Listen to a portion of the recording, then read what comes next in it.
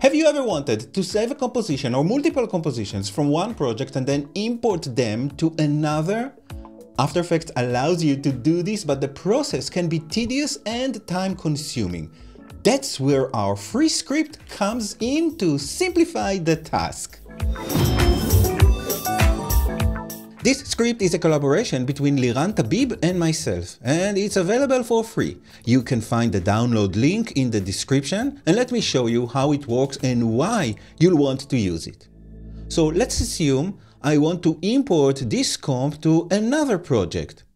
One way to work is to import this entire project to another one and then clean it up.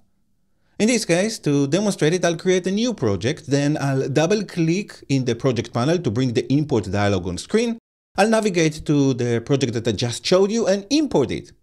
This creates a folder with all the elements from the imported project, which you'll then need to clean up. Alternatively, you can clean up the project before importing it. Here's how. I'll return to the original one without saving this one, and then select the comp or comps that I'd like to share with myself in this case, and then go to File, Dependencies, Reduce Project. This will remove all irrelevant elements, and you can then save the project with a new name, so be careful not to overwrite the original one. The script we offer simplifies this process, makes it safer, and provide additional options. Let me show you how to install and use it. So first you need to download and expand the zip file. Then go to the file menu inside After Effects, choose scripts and choose install script file. Locate the reducer.jsxbin and press select. You'll see a confirmation message indicating successful installation.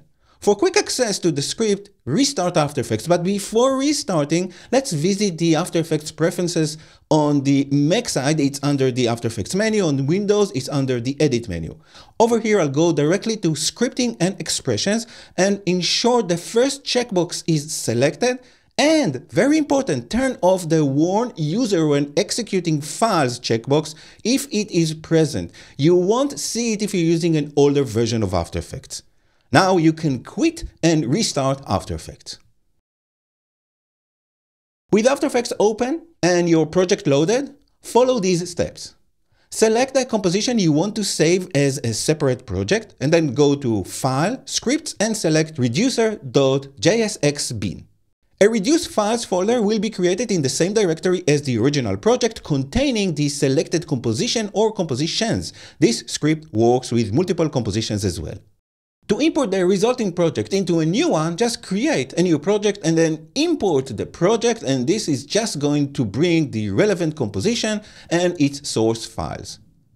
For quick access, you can also assign a keyboard shortcut to the script. To do this, open the keyboard shortcut menu, search for reducer, and then assign a key combination that works for you. But wait, there is more. I'll return back to the demo project that I'm using and then select a couple of comps. And this time I'll run the script while holding down shift. And this is going to create a new project with the original project's name and the name of the selected comps. So this can help you to remember the origin of these comps. I'll open the resulting project to show you that we get a reduced project with the selected comps and of course their source files.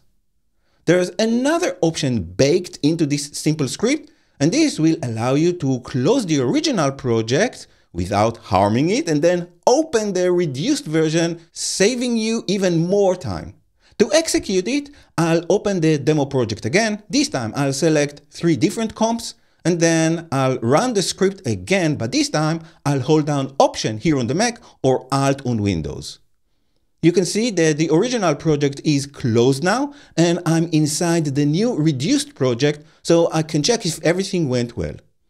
Now, it's important to note that this script creates a streamlined version of your project without duplicating the source files. So if you need to backup or share this consolidated version with others, go to File, Dependencies, and choose Collect Files to create a copy with all the source files.